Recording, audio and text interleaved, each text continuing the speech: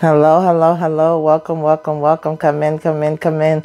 This is Tamieka's Den. I'm Tamika. Get on in here, y'all. Get on in here. Kick off your shoes and relax your feet. You now in the den. So, guys, this is my review recap for Love After Lockup. Running from Love, y'all. Season 5, Episode 10. y'all, we got Brittany finally getting on her dag on you know, getting out of here, making her call, getting on in that car to leave with her $700 to go find her some crack. Okay. We got Andy talking about, I don't understand. I don't know what I'm wrong. We got Donna ceasing her opportunity child. She said, okay, Melissa out here playing games. She don't want to be bothered no more. Guess what? We got some dental hygienists over here that can help you out, boo. I'm about to give you the hookup.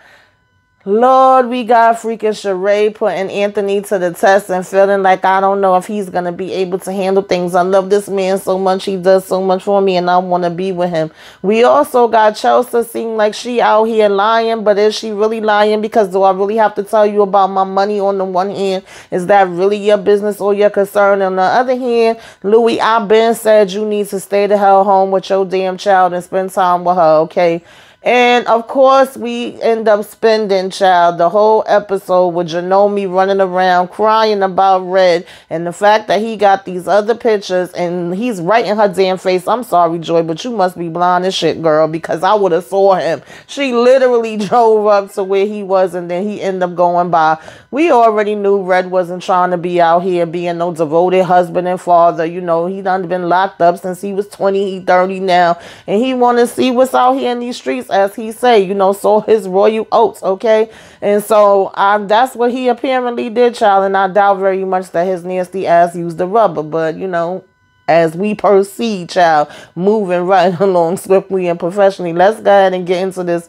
Break it on down. Take it from the top. You know how we do. So, y'all, it wasn't much to this episode at all. So this review ain't gonna be long. I don't know why we stretched it out for like what hour and, and almost 40 minutes. And next week is the season finale, and that's supposed to be almost two hours. You know, we gonna go ahead and get Sheree and um child. Sheree Anthony out the way. You know, she's saying here running up the stairs. Come on, Anthony. Come on, come on, come on. You know, you got to beat this daggone time. Okay. You know, you had a curfew. And he just walking, taking his time, get upstairs and say he needs to go ahead and charge his daggone you know, device that's on his freaking ankle, his ankle monitor. And she's just like, well, I love him so much and he helps me so much. And, and it kills me how she was like, I threw this party for you and I really wanted you to enjoy yourself. I wanted this to be the best for you, but none of your friends showed up. And he's still telling her how she did such a great job and he's thankful for it. You know, I love you. Yeah, I love you too. Okay. And then we yawn and we sleepy, we tired. All right. And so later she is like doing these, you know, tests on him. You know, she's that type of person that like to be very organized, have things planned out, know what things is gonna be going. You know, we trying to prepare him for if he have interviews, what type of questions, what type of answers we giving, you know, making sure that your resume is intact. And Anthony's attitude is what Anthony attitude always is since we've been seeing him. It's very nonchalant, it's very like as a matter of fact, and I don't really give a damn type of attitude. I don't understand why Sheree is all of a sudden getting in her feelings today and feeling like, you know, if he's not gonna be a certain type of person, then I may need to rethink this because I'm used to things being very structured when it comes to me and my son, and it doesn't really seem like that is the type of thing that he is trying to give me right now and um you know, I don't know how that's going to impact our relationship and what we have to look forward to going forward if that's what he going to be doing. And it's like, uh, he's pretty much came out with that attitude since he's been out. So I don't know why it was like if this was the first time that she was seeing it. She wasn't liking the way that he was answering the questions. And she's like, you know, are you sure that you're getting this? And he's like, yep. And then she was like, you know, pretty much doing a mock interview with him when then she's saying that it's really not going well. You know, you can't go into an interview with the I don't give a damn attitude. Like, you know, it's like, oh, you got some nerve. Well, maybe he not gonna be that way with the people when he go into the interview. Maybe he just, you know, being that way with you because it's you. I don't know. Okay, but she was saying she probably wouldn't give him a job and she's like the feedback that she would give him is for him to look into the person's eyes you know when she's talking to them when he's talking to them which is true you know um she didn't feel like he was doing that. You can't be swinging back and forth in the chair and all of that. You got to be steady. And, you know, she's saying she do this for a living and she's observing and he's going, whatever. Okay. To everything that she's saying or whatever. And basically, she just was kind of upset about it and feeling like she was taking it more serious than he was. But again, this has been Anthony's attitude since he came home. Okay.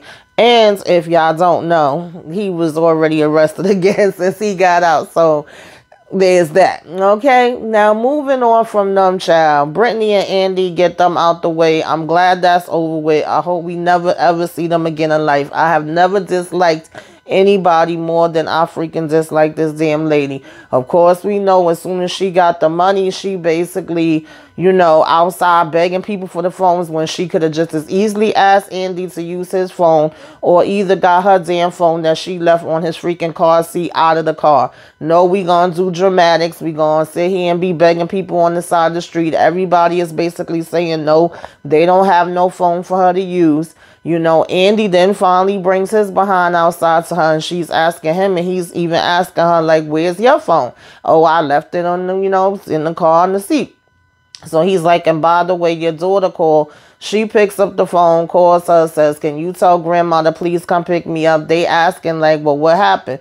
You know, oh, nothing. I'll tell you about it when you get here. I just basically want to go. So at this point, Andy starts packing up his stuff. Like, I don't need to be here then. Like, I literally wasted my time. Let me go ahead and pack up my stuff and get the hell up out of here, too. You know, what am I staying here for?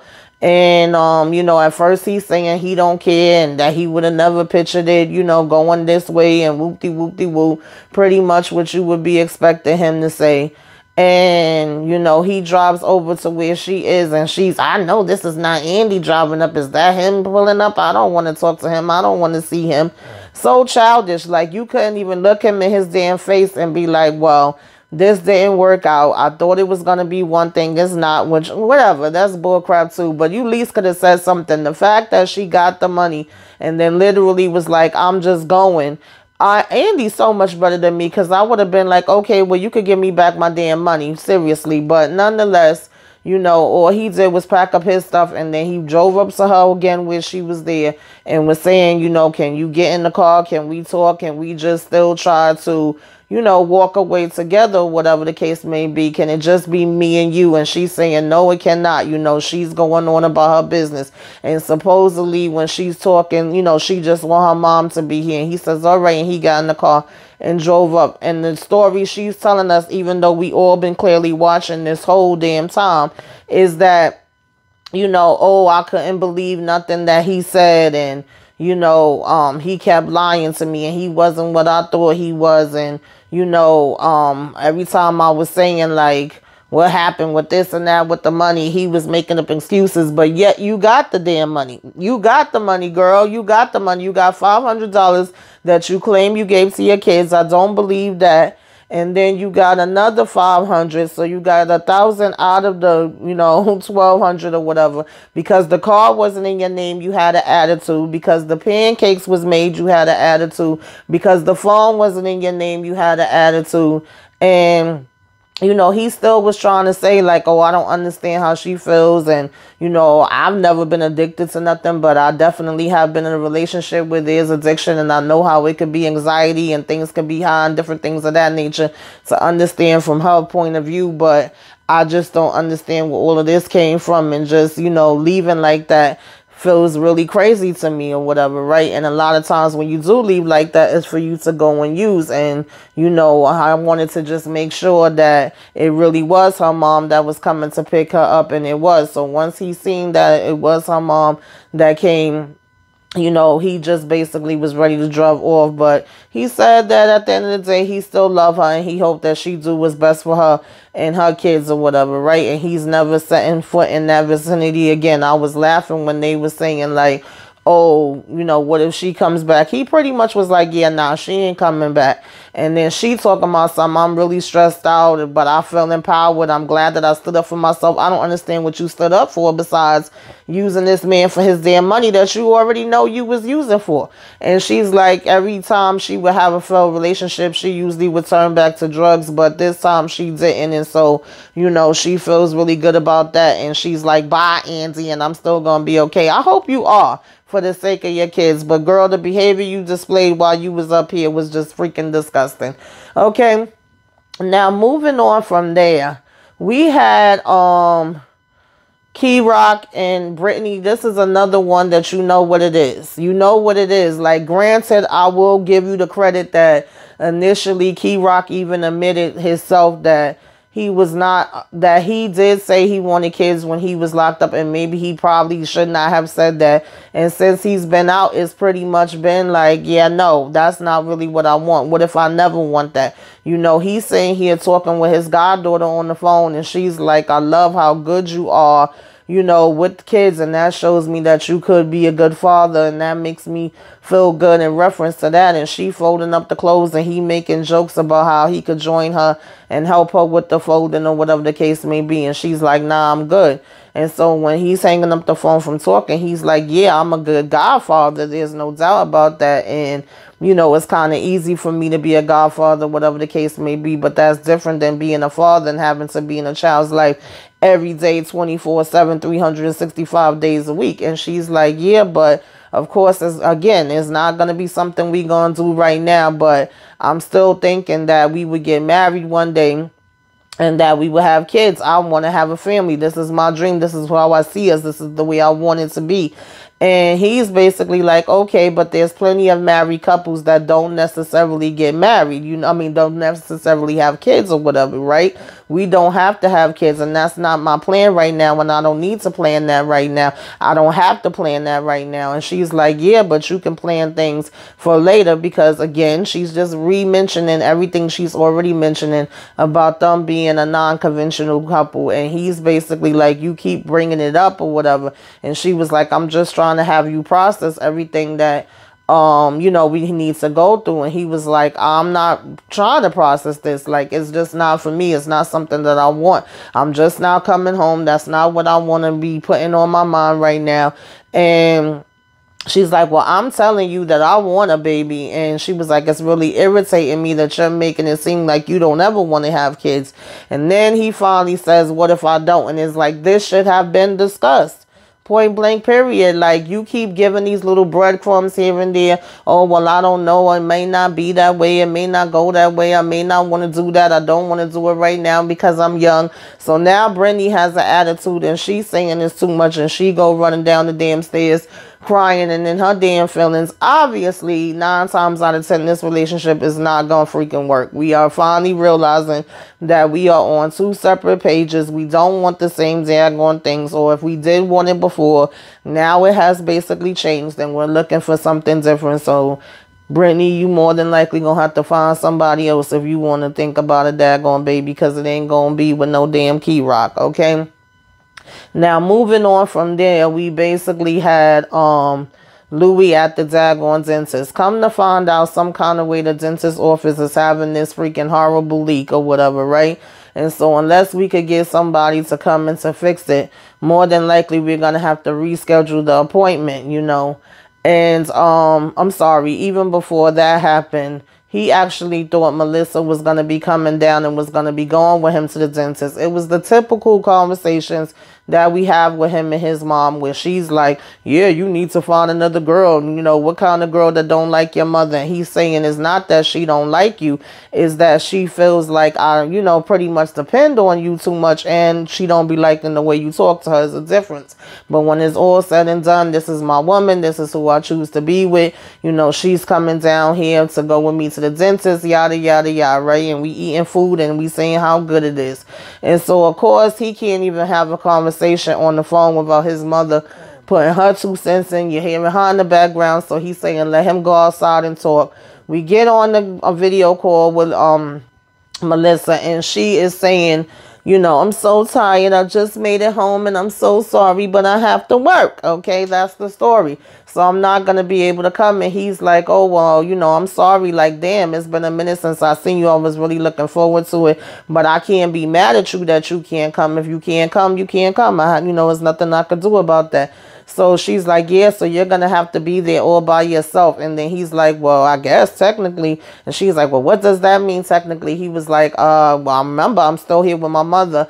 And that sets her off because she does not want him to have any help for him, his mother. If he's not going to be able to have her there with him, then she wants to feel like he's struggling and he's by himself and he don't have anybody.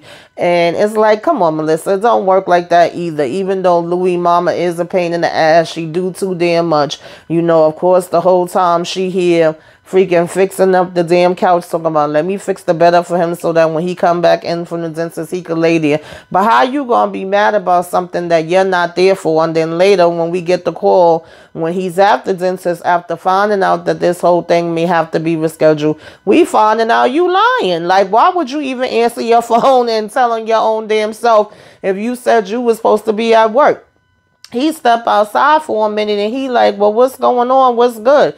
Oh, nothing, you know, um, I'm not actually at work. And it's like, so why the hell did you tell me you was at work if you wasn't going to be at work? Like, are we even going to discuss the fact that you lied to me and had it been the other way around, how upset you would be having me lie to you? Like, what are we really doing here? And it's like, oh, well, I'm still paying for it even though I'm not there. And he basically was trying to say that if she wanted to, you know, go ahead and cancel it or she wanted to, you know, um, like I forget the damn word that I'm looking for, y'all, but just have like the charge reversed in terms of paying for it or whatever, that she could do that. And then she's basically saying like, oh well, you know, I think I'm done with this and I don't know what to say because you always still find a way to have your mother there and have her do things for you. What are you really doing there? And he's like, well, what are you really doing? You know, she's saying how she's taking care of her house and her responsibilities. And he's like, I'm doing the same thing here. And I thought I was trying to get out there to Jersey. So where the hell you at? You know, no, you're not doing the same thing as me and you're still not being independent. And now we're back to, you know, I think I may have made a mistake with this whole situation. Yeah, you did, girl. You, uh, you been made a mistake, okay? From the time you had on that damn cheerleading outfit. We all knew you was making a mistake except for you. But you know, it was then it going to I decided not to come and all of this. And it's like, okay, so where does that leave us? What are you trying to do? Are you breaking up with me right now? You know, we talking about like this is a damn break period right now or something. So of course you ain't gotta have um you know, tell Louis mama twice. She don't like her anyway. Don't want her to be with him anyway. You know, he's saying he don't understand or whatever and all of this is because he actually still had um his mom come with him. But if he needed somebody to drive him i don't know if he has to get any type of anesthetics or anything like that. But normally if you do somebody would have to come with you to the appointment anyway. So if it's not you then i would assume that it's going to be his mother. You would be pissed off it was another girl. So it was like i just don't get the point of this child. A lot of these storylines i just feel like WeTV is making up as they go, to be honest, because it's just like, for what? Okay. But of course, his mom was telling him to leave his options open. You know, you never know. And then she ended up going over to the daggone desk, and she over here like, you know, if she wanna um make a damn connection, she telling the girl, "Oh, I have a question for you. Come to the other side. How are you doing? All this nice to meet you, Michelle. I'm Donna Louie's mom. You know." And she said, "Oh, that's my grandmother's name." And she was like, "Oh, what a what a wonderful world that is, child. You can wait to freaking see how happy she was hearing that." And she was like saying, "Oh, I'm gonna get you a cup of coffee and this and that." And um, you know, where you from? I'm from California. We making all this small talk or whatever the case may be. And she got a dog. I said, child, not trying to be funny, but the way she had that damn hairstyle, she looked like a damn dog. like one of them little small dogs. I forget the daggone name of them. But anyway, y'all. She doing a damn love connection with them, right? And I get, you know, we can't say we shocked with that because we know that she did not want, um, you know, him to be with Melissa. And so they said outside and talked for a minute. And I'm like, really, Donna, I'm thinking you going to talk to her about something that got to do with the damn appointment or whatever. But no, okay.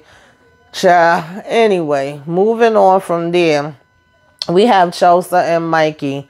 Again, I feel like now we just making up scenarios as we go. Apparently, you know, Mikey's out here with the guy that he had been locked up with. You know, we saying that we did time together. We had each other backs. When I was sick, he was the one that was calling the guard and making sure that everything was taken care of. We have a back and forth between Chelsea talking with her dad versus him talking with his friend and how her dad is perceiving him in a certain way. And I get it. In the beginning, I was really saying, like, I could understand where Pops is coming from. I could understand him being leery and worried because obviously we found out about the history of the relationships that Chelsea has had. But in my opinion, from what we see, at least so far, Mike does not fit in the category of these guys. I think that her dad would actually be very happy with him and like him. However, comma, I think that we didn't know what the hell we was going to be getting with Chelsea. And I think this may not work out either, okay? Because you know, she's sitting here telling the dad what a good guy he is, that he's a good father, that he gets along good with her son. Of course, he's saying he needs to see these things for himself. Then Mikey talking about some, yeah, he think I'm a bad guy and that, you know, I went to jail for, you know, taking away people's lives, deleting them because I have a teardrop. And the friend talking about some, oh, no, really? What kind of stuff is that? I'm like, well, that is what's known. I mean, I'm just saying, okay? And you know, they talking about how the correction officers really didn't care when it came to him being sick and all of that kind of stuff. So he's asking him if he's excited about going to see Chelsea. And he's like, yeah, I am. But the only thing that's making me kind of leery, you know, of course I am nervous, but I'm also kind of trying to see where exactly we're standing at. And he's like, well, what? And he was like, yeah, with the money situation. So he's like, well, what's going on with the money situation? And when he say that, I'm thinking about the whole fact that Chelsea had, you know, said that her SSI got stopped and, you know, food stamps got stopped. The money she get from her dad got stopped and, you know, all of these hard trials she going through. But no, it seems to be the complete opposite of that. He's saying how she have $5,000 and he's trying to figure out where the hell did she just get it from just like that.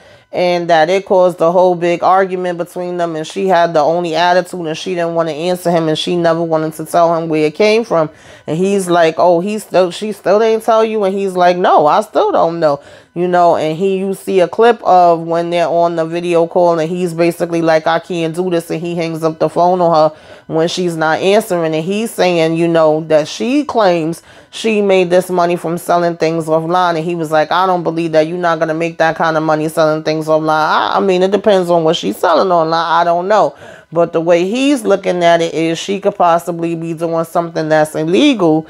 And that's the only way you making that fast money like that. And of course, with him just being out of prison, he don't want to go and move to where she is and take the chance of being around something that could possibly be illegal and get him into trouble. So that's why he's asking where it came from and that he don't feel like she's being fully honest about it. I can understand that concept too, but I can't say that I'm mad at her for not like telling him every little thing. Honestly, you shouldn't even told him that you had the damn five thousand dollars, girl. Okay, some things you gotta keep to yourself.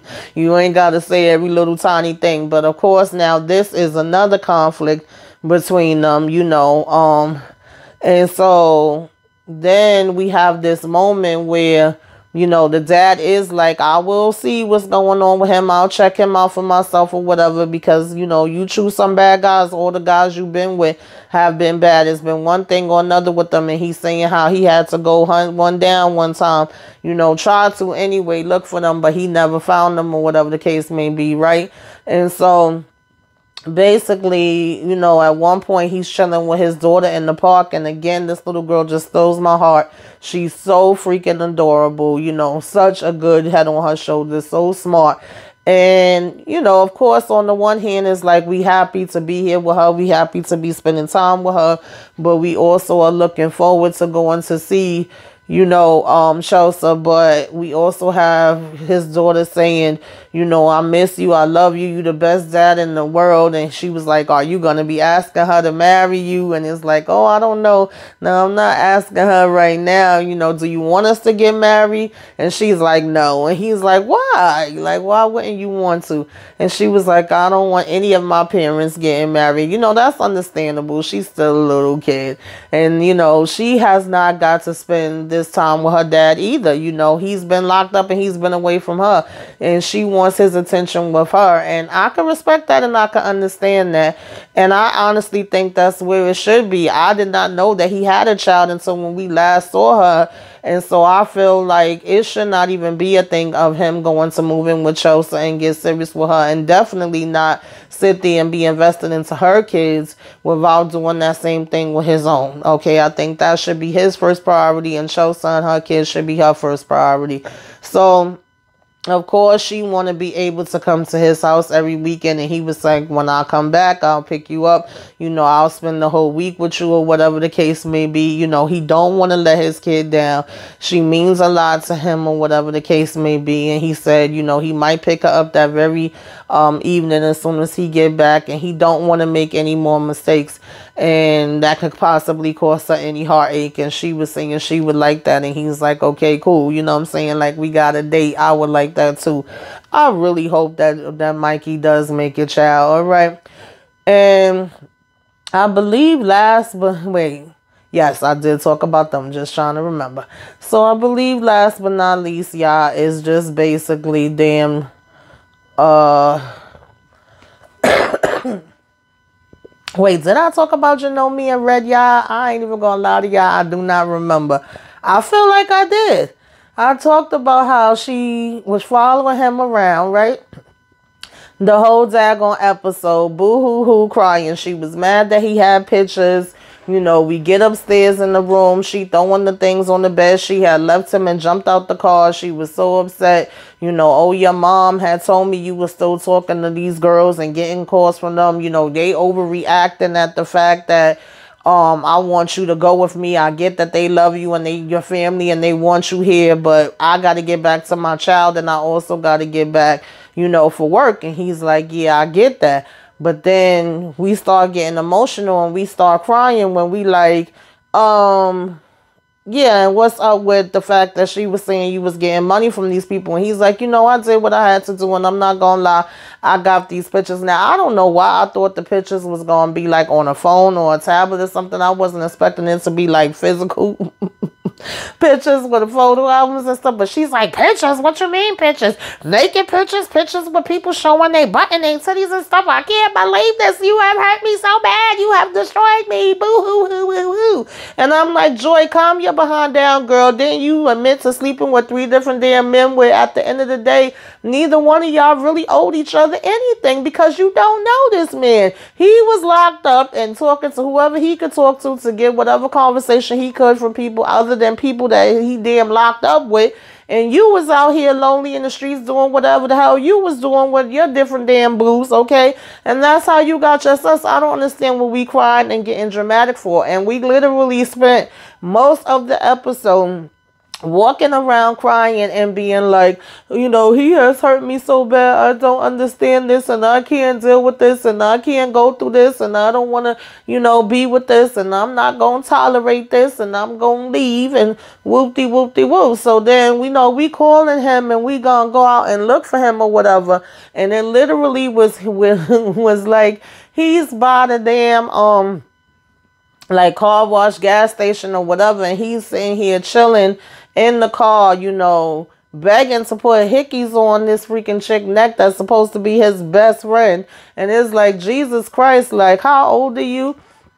You know, and he's saying how Janome is doing too much. She's overreacting. She's acting like a warden. You know, he said he gonna go downstairs for a minute just to be by himself and to smoke a cigarette. But of course, we know he know. Janome should definitely know. The WeTV people that's following what the cameras know that that's not what he doing. He going downstairs to see Bestie. You know, she talking about oh he's dropping all this on me and he wants it to be okay. It's not okay um, and so when he gets downstairs, you know, she talking about he talking about can you pull up on me? I'm hella you know irritated and this and that. She too clingy and i'm not on that and this and that. So now you even telling your friend okay different complaints that you got with her. And he was like um you know i just want to be able to be who you know where i want to be and it's crazy man. I just want to have friends and all of this. And so she's still upstairs crying, talking about someone I cheated, which I still don't understand how I was cheating. But okay, child, you don't sitting there. That's why you crying and feeling all guilty because you actually feel like you cheated on this man when I don't understand how it was a cheat. So nonetheless, he met Julie at a damn party a long time ago and she really did become his best friend. She coming, jumping up in his arms. We hugging, you know, I miss you so much and all of that. Oh, I like your hair. I see you. I see you. You know, and so we ride over to where this gas station is at and we sitting there you know, talking. Meanwhile, Janome is calling him and he like, look, she already started calling me. You know you supposedly supposed to be leaving. yeah, I tell you, this is a damn mess. And she's like, she's here. And she was like, wait a minute. She's right here. I'm not trying to be here and she here, whatever. But of course, this is all the thrill for him. You know, oh, I don't care. I'm outside. I'm free. I'm out of here now. And, you know, we chilling with her, with her, you know, we together. We gonna be happy and whoop-de whoop-de whoop, right? So it was very disrespectful. I said, damn, Red, you at least could have went somewhere damn else. Now, mind you, she in the hotel room crying for a minute. She calling on the phone. He not answering. She comes down and she literally drives to where they at to the point that Red is like, oh shit, wait, that's her. And she's like, she's here. And he's like, yeah, go, go, go. I don't know how the hell she missed them.